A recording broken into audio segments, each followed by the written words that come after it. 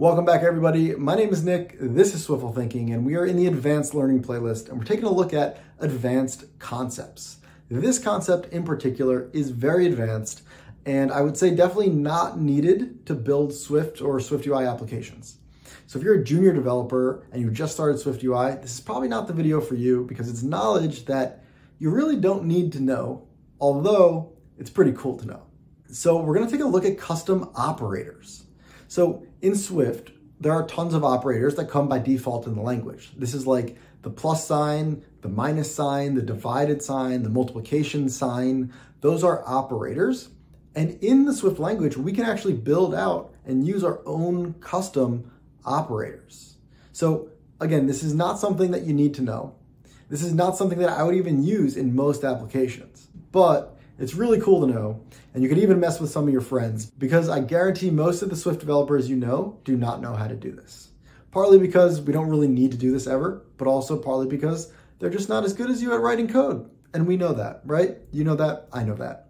Anyway, let's take a look at writing custom operators. We're gonna do some basic ones, we're gonna do some more complex ones.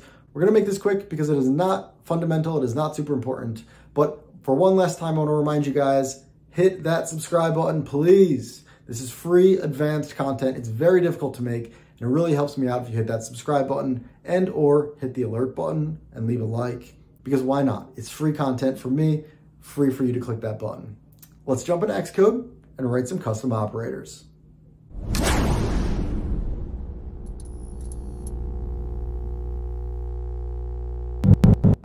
And we are back. Welcome back, everyone. It is Friday night, 11:45 p.m. It's almost midnight. And we're cruising through the advanced learning playlist.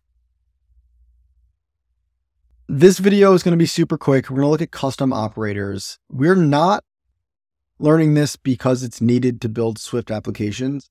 And actually in every app, in almost every single application I've ever written, I have not used these, but I've recently learned how to do this. And I think it's really cool and kind of just fun to play around with. So maybe this is kind of just my nerdy side speaking, but I'm sure someone out there is going to enjoy this video as well. Let me know in the comments if you do, even if you're probably never going to use it in a real project. So let's right click the navigator, create a new file and create a Swift UI view. Let's call this one custom operator bootcamp. Let's click create.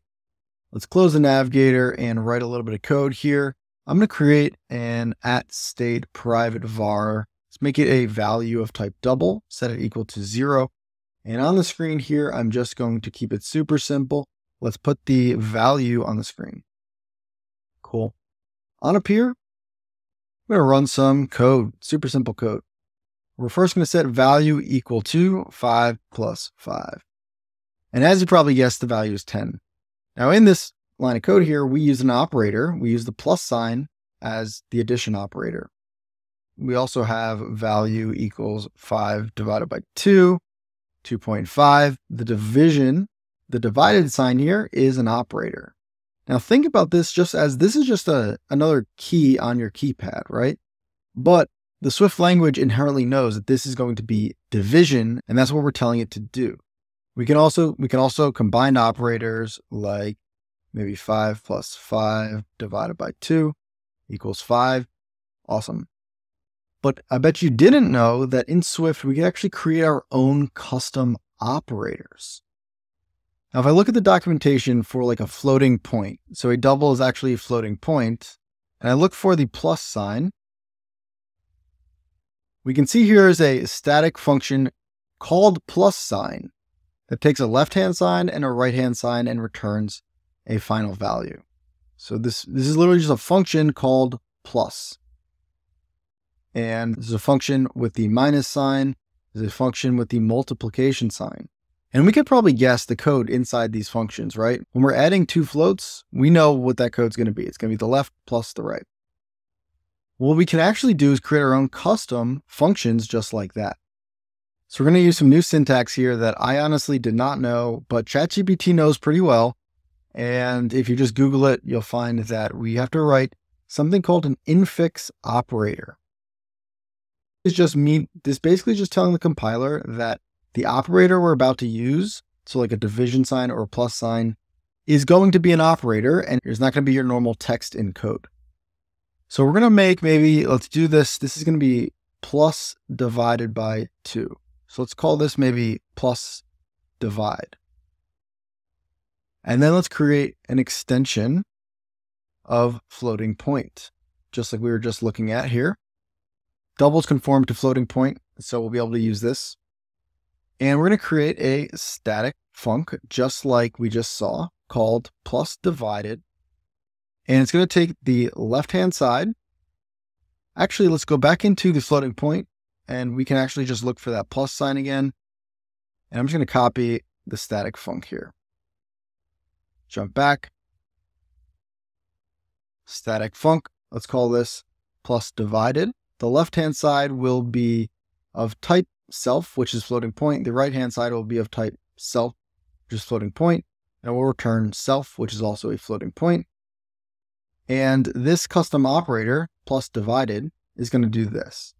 So in this one, we're going to take two numbers. So five is going to be the left-hand side, and then five, which will be the right-hand side, and then divide it by two. So I'm just going to copy this. And we're just going to take the left-hand side and the right-hand side. So in my code now, I'm going to do value equals 5 plus divided by 5. And so this is now going to take the left hand plus the right hand and then divide it by 2. And we can see that this 5 is on the screen. Just to test that, let's change this to maybe 6 and 2. So 8 divided by 2 should be 4, and it looks like it's working. We can maybe make another variation of this. Let's do maybe plus plus. And we're getting an error here, operator implementation without matching declaration. It's because we didn't make an infix operator. So we should just put this up here as well. And maybe in the plus plus, we're actually just going to add this the left-hand side twice and divide it by the right-hand side.